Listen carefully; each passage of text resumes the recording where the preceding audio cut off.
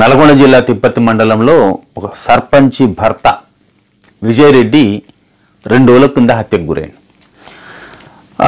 అతడి భార్యనే సర్పంచ్నే ఆమె అదే రోజు మాట్లాడుకుంటా చెప్పింది. దీని వెనుక ప్రేరణ సూత్రధారి నల్గొండ ఎమ్మెల్యే భూపాల్ రెడ్డి అని. సరే తర్వాత నిందితులు ఎవరెవరో ఆమెకు అనుమానితులని అని చెప్పారు. పోలీసు వాళ్ళు దాని మీద ఏదో ఎంక్వైరీ చేస్తున్నారు అది పోతున్నారు. భూపాల్ రెడ్డికి సంబంధం ఉందా లేదా అనే దాని మీద ముందు మాట్లాడుకుందాం. భూపాల్ రెడ్డి ప్రత్యక్షంగా పోయి హత్య చేసిండను లేదా వారు కొంతమందిని పిలిచి మీరు హత్య చేయండి అని చెప్పిండని ఎవరూ నమ్మరు.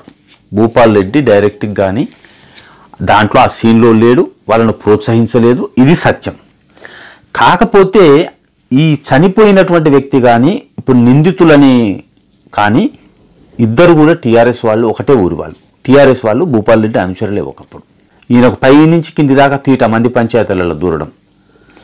ఇప్పుడు ముందు వెనక చూడు మంచి చెడు చూడు ఓడని వస్తే వాడనమాట ఎవరు ముందు వస్తే వాడు గ్రేట్ అవతలోడు దొంగ. ఇది ఆయన నేర్చుకున్నటువంటి నేర్చుకున్న జ్ఞానం. ఇప్పుడు ఈ చనిపోయిన విజయరెడ్డి ఇంకా వేరే ఏదో గ్రూపు వాళ్ళ పాలవులకు సంబంధించిన ఏదో ప్లాటో నల్గొండలో ఉంటే దాని గురించి భూపాల్ రెడ్డి దగ్గర పంచాయతీ అయింది. భూపాల్ రెడ్డి ఏమిటి? ఈ విజయరెడ్డి అంటే ఆయన నచ్చలేదు వాళ్ళు నచ్చారు. వాళ్ళకు అనుకూలంగా పోలీస్ ఫోర్స్ను ఉపయోగించింది.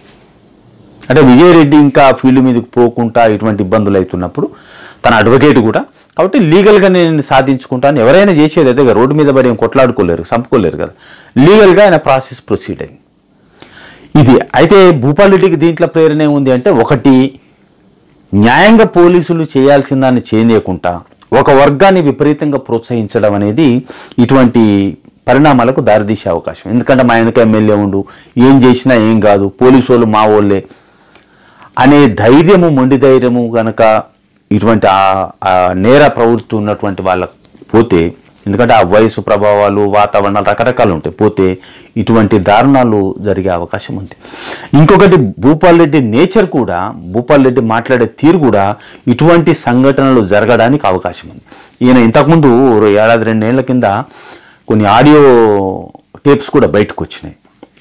జిల్లా ఆఫీసర్లకు ఫోన్ చేసి కూడా నేను చెప్పినట్టు వినవా?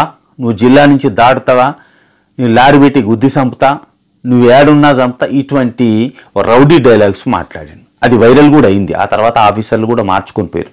ప్రతి ఒళ్ళకు జిల్లాలో ఫోన్ చేసి ఈవెన్ సిఐలకు ఎస్ఐలకు సిఐలకు డిఎస్పీలకు కూడా నిన్ను ఇక్కడికి తీసుకొచ్చింది పీక్ తెందుకు తీసుకొచ్చినా నేను. నువ్వు నాకు పని చేయకుంటే ఎవరికి పని చేస్తావు నీ రేంజ్లు అంటారు అనేది పోలీస్ డిపార్ట్మెంట్ వాళ్ళు చెప్తున్నారు ఆయన ఎమ్మటి విన్నోళ్ళు చెప్తున్నారు. ఇది ఈ రేంజ్లో మాట్లాడతారు.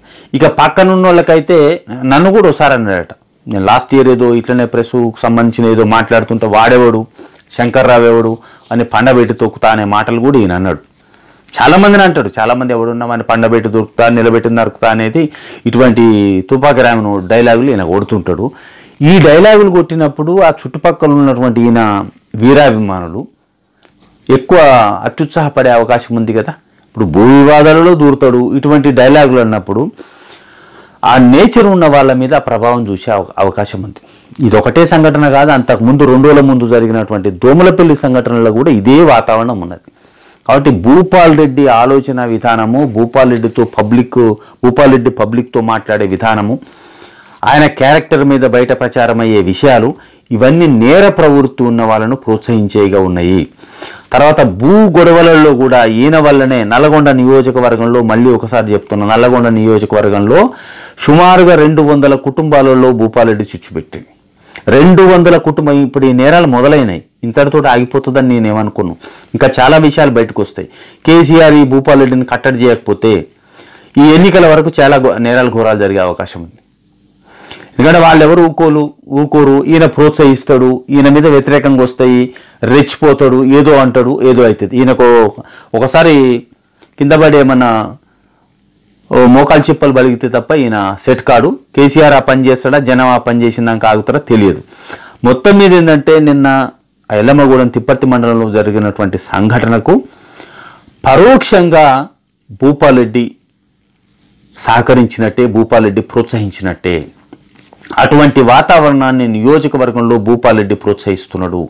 ఇది జనంలో ఉన్న మాట. ఇట్